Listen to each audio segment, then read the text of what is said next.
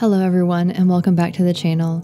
I apologize for taking so long in between videos lately, but life has just been pretty hectic. I got sick for a few weeks, which then put me behind in school, and I feel like I've been barely keeping myself afloat the last couple of months. But the semester is going to be ending in just a few short weeks, and that means I will have a lot more free time for creating and making videos. And I'm really excited to have this time of rest after a very, very rigorous semester. Something fun that I've been doing recently is getting into commonplacing and memory keeping. I showed you all my analog setup for note taking for school, but I recently abandoned that plan, and for a while I took a brief exploration into digital note taking, which worked well enough, but I was I missed having my analog notebooks. And so I simplified my system, but I've also added a commonplace journal where I can put photos, jot down ideas, practice a little bit of poetry, even keep track of art inspiration that I come across for using for paintings later on. I would love to show you all my setup, and I'm working on planning a new video to show you what notebooks I'm using and how I'm using them. Something that's really fun about commonplacing is finding all these really cool stationery items. I love a vintage look to my pages, and this collection of ephemera, stickers, papers that I found on Amazon is really cool for that.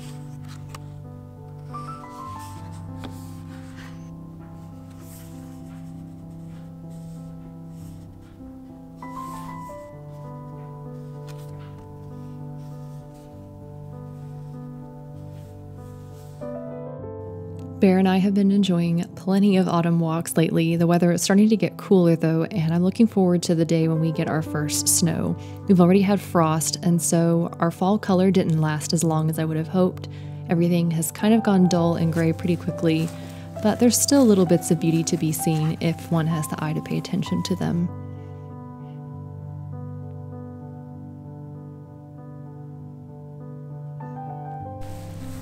Something exciting um, that I recently purchased is a new camera. My previous camera was getting pretty old and not working as consistently as it should, but this new camera that I have makes autofocus and filming myself so much easier, and it's been a lot of fun playing around with it. I use Fujifilm, and I've stayed with Fujifilm for this next camera body, and it has been a joy to use. It's been exciting to see how it's boosted my creativity and inspired new ideas.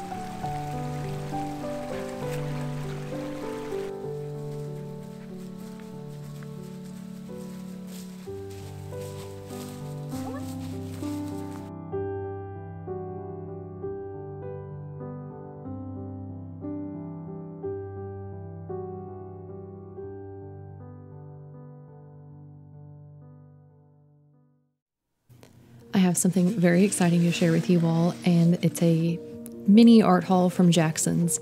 But what makes this really exciting is that it was purchased with my very first commission that I made by having you all purchase things through my affiliate link in the description below.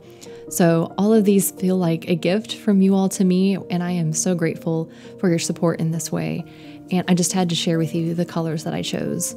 I wanted to add a few very moody and wintry colors to my palette. A lot of my colors right now are very autumnal and bright, and these are going to be perfect for more wintry, peaceful scenes.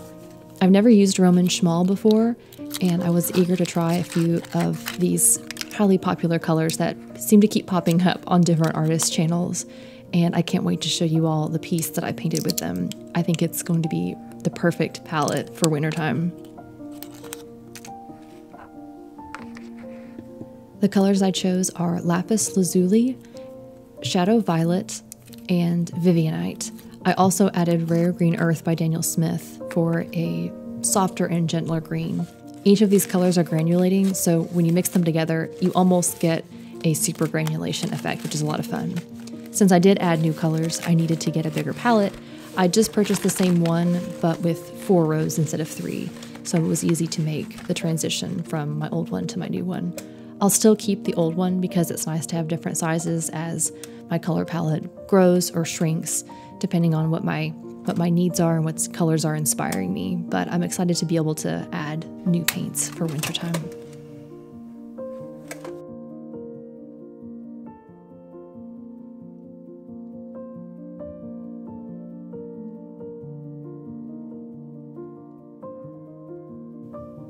So, the piece that I am painting today is inspired by one of my favorite musical albums for this time of year. It's December by George Winston.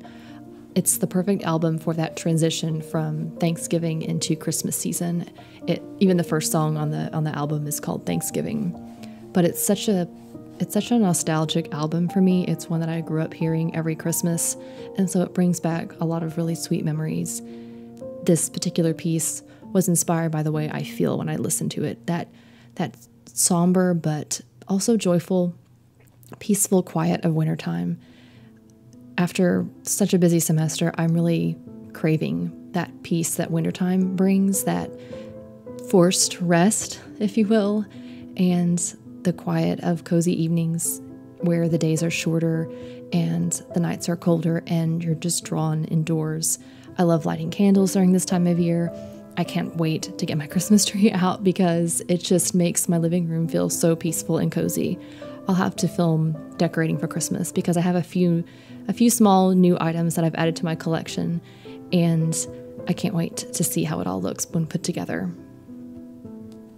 So the background for this piece was a mixture of lapis lazuli and shadow violet. It makes for the perfect snowy, wintry, frosty feeling that you get sometimes in the woods around here. I gradually added more and more pigment as I moved closer and closer to the foreground, and I also started switching from the blue and the purple to the Vivianite and the um, rare green earth, bringing a little bit more green and warmth to those foreground trees. I feel like these four colors are the perfect combination for a soft and gentle wintry vibe while also still bringing some brightness to the artwork.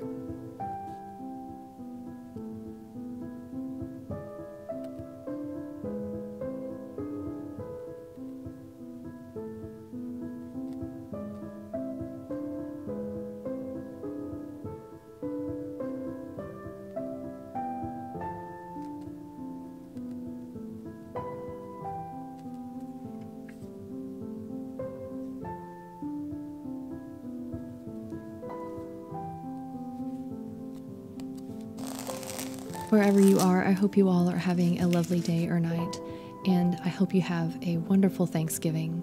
I will see you next time. Bye.